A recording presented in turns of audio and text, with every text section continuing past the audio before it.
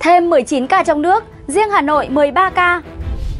Giãn cách xã hội thành phố Bắc Ninh từ 6 giờ ngày 18 tháng 5. Sơn La khẩn trương ứng phó với ca dương tính mới với virus cúm Vũ Hán. Thêm hai học sinh Điện Biên mắc viêm phổi Vũ Hán. Bắc Giang, ổ dịch huyện Việt Yên có số ca dương tính nhiều nhất tỉnh. Thế giới ghi nhận 164 triệu ca mắc viêm phổi Vũ Hán, Thái Lan có số ca mắc mới cao kỷ lục. Quý vị và các bạn đang theo dõi bản tin Covid-19 trưa ngày 18 tháng 5 của DKN TV. Tiếp sau đây là các nội dung chi tiết.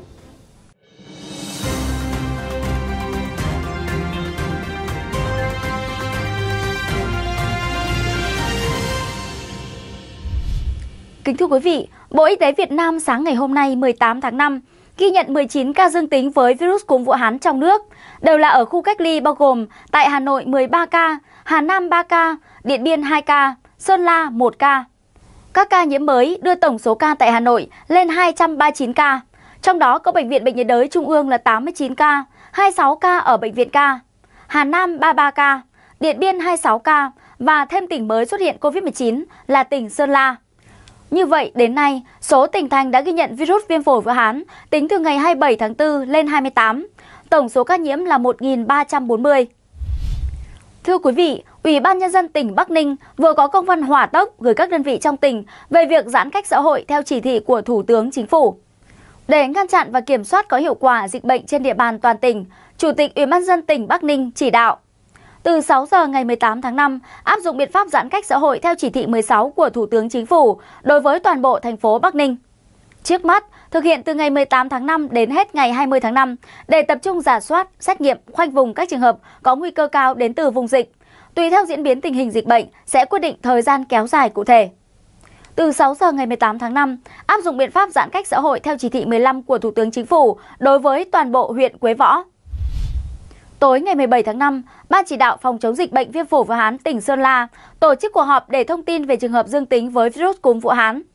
Trường hợp này là chị MTT, sinh năm 1983, trú tại xã Nà Bó, huyện Mai Sơn, tỉnh Sơn La. Xét nghiệm có kết quả dương tính với virus cúm Vũ Hán do Bệnh viện Đa khoa tỉnh Sơn La thực hiện. Hiện tại, bệnh nhân không sốt, ho đã được chuyển đến Bệnh viện Đa khoa tỉnh Sơn La để điều trị. Theo điều tra dịch tễ, MTT làm việc tại công ty trách nhiệm hữu hạn Hoshiden thuộc khu công nghiệp Quang Châu, huyện Việt Yên, tỉnh Bắc Giang. Khoảng 19 giờ 30 phút vào ngày 13 tháng 5, bệnh nhân được em trai đưa từ xóm trọ ra khu vực đáp cầu ở Bắc Giang để đón xe tuyến Lạng Sơn Sơn La, mang biển số 26B 00308 để về Sơn La. Trong lịch trình di chuyển của xe khách này có dừng tại tỉnh Hòa Bình và các huyện Vân Hồ, Mộc Châu, Mai Sơn thuộc tỉnh Sơn La. Đến sáng ngày 14 tháng 5, bệnh nhân được chồng đón và đưa đến trạm y tế Nà Bó để khai báo. MTT có tiếp xúc với con gái, đang là học sinh lớp 9, thuộc trường tiểu học và trung học cơ sở xã Nà Bó, huyện Mai Sơn, cùng với con trai đang học lớp 12 tại trường trung học phổ thông huyện Mai Sơn.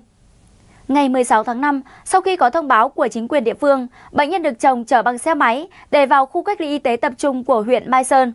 Tại đây, bệnh nhân được bố trí phòng riêng, khu tách biệt, không tiếp xúc với ai. Ngay sau khi phát hiện trường hợp nhiễm virus cúm Vũ Hán, chính quyền huyện Mai Sơn đã triển khai phong tỏa và thành lập các chốt kiểm soát để phòng chống dịch bệnh tại nơi ở bệnh nhân. Tỉnh Sơn La đã khẩn trương truy vết các trường hợp tiếp xúc với chị MTT.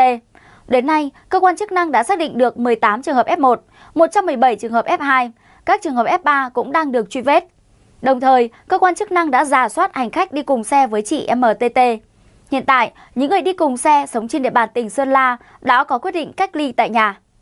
Tại cuộc họp, Ủy ban nhân dân tỉnh Sơn La yêu cầu các địa phương khẩn trương khoanh vùng, truy vết những trường hợp liên quan khác, trong đó tập trung khoanh vùng, truy vết, phòng dịch tại các trường học nơi có con trai và con gái của bệnh nhân MTT học tập.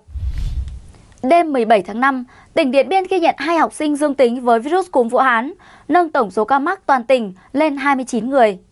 Cả hai ca mắc virus cúm Vũ Hán mới được ghi nhận đều là học sinh tại xã Sipafin, trong đó bệnh nhân có mã bệnh nhân số 4377 là F1 của bệnh nhân số 4227 và bệnh nhân 4378 là F1 của bệnh nhân 3838.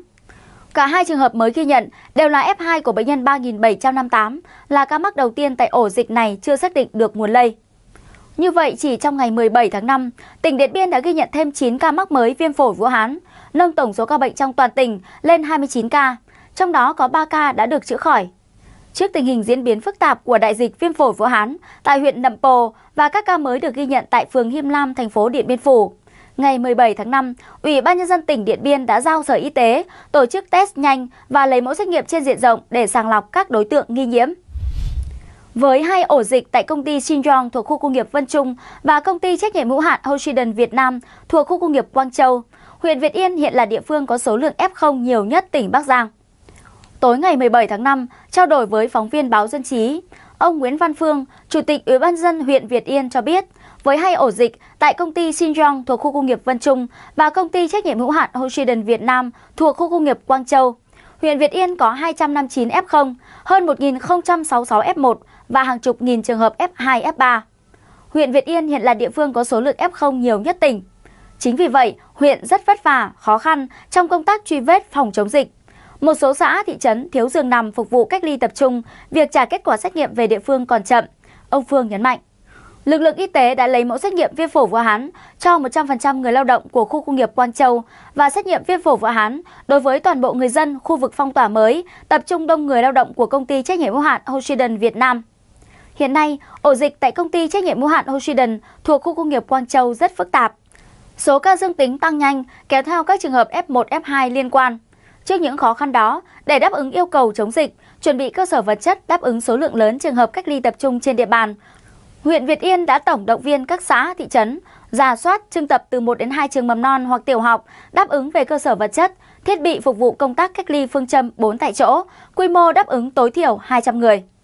Huyện cũng đã huy động đội ngũ giáo viên phối hợp với lực lượng công an, y tế, dân quân tự vệ tham gia dọn dẹp, chuẩn bị các điều kiện cho khu cách ly hoạt động. Hiện nay 17 xã thị trấn đã thành lập và sẵn sàng tiếp nhận bệnh nhân từ ngày 17 tháng 5. Cùng với đó, huyện cũng mở rộng thêm 6 khu cách ly tập trung tại dãy D2, D3 thuộc khu ký túc xá trường Đại học Nông Lâm Bắc Giang, trường mầm non Hoa Sen ở xã Quang Châu, khu nhà ở xã hội Phu Giang ở xã Vân Trung, tiểu đoàn 16 trường sĩ quan chính trị ở xã Tiên Sơn, trường mầm non Hoa Sữa ở xã Minh Đức, trường mầm non Họa Mi ở thị trấn Bích Động. Như vậy, đến thời điểm này, huyện Việt Yên có 27 điểm cách ly tập trung, đáp ứng cho gần 5.000 người. Kính thưa quý vị, tính đến sáng ngày hôm nay 18 tháng 5, thế giới đã có 164 triệu ca mắc viêm phổi Vũ Hán và 3,4 triệu người tử vong.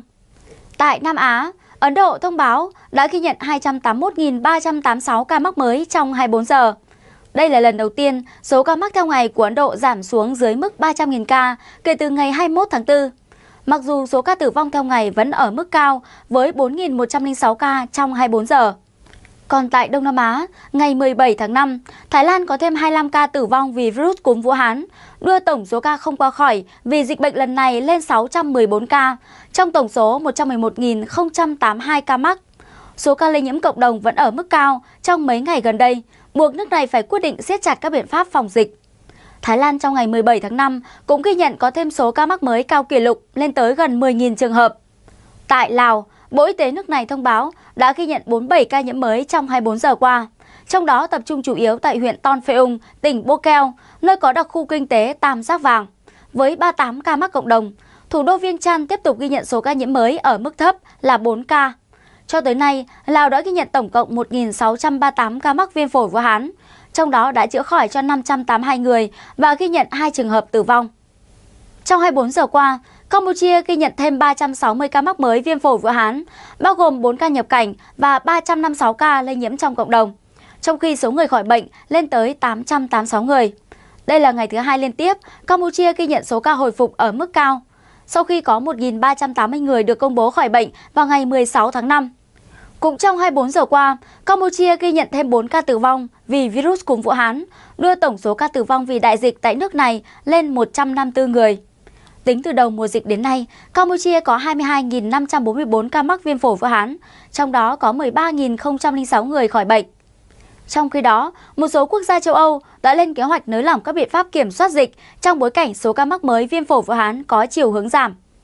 Đáng chú ý, ngày 17 tháng 5 có lẽ sẽ được coi như ngày tự do với khoảng 65 triệu người dân Anh, khi nền kinh tế nước này sẽ mở cửa trở lại một cách thận trọng sau 4 tháng áp dụng các biện pháp hạn chế. Từ ngày 17 tháng 5, Bồ Đào Nha đã cho phép khách du lịch từ Anh và đa số các nước Liên minh châu Âu EU nhập cảnh vào nước này với điều kiện có kết quả xét nghiệm âm tính với virus cúm Vũ Hán, tối đa là 72 giờ trước khi lên máy bay. Dự kiến khoảng 30 chuyến bay từ Anh sẽ đáp xuống sân bay của Bồ Đào Nha vào ngày 17 tháng 5. Trong đó, 17 chuyến bay chở khoảng 5.500 hành khách đến thành phố Faro. Anh là thị trường du lịch lớn nhất của Bồ Đào Nha. Hà Lan cũng sẽ nới lỏng các biện pháp hạn chế được áp đặt để phòng dịch viêm phổi Vũ Hán trong tuần này. Trong bối cảnh, chiến dịch tiêm vaccine phòng bệnh đã giúp giải tỏa căng thẳng tại nhiều bệnh viện. Thưa quý vị, bản tin COVID-19 trưa ngày 18 tháng 5 của DKN TV đến đây tạm dừng. Cảm ơn quý vị đã chú ý lắng nghe. Hẹn gặp lại quý vị trong các chương trình tiếp theo.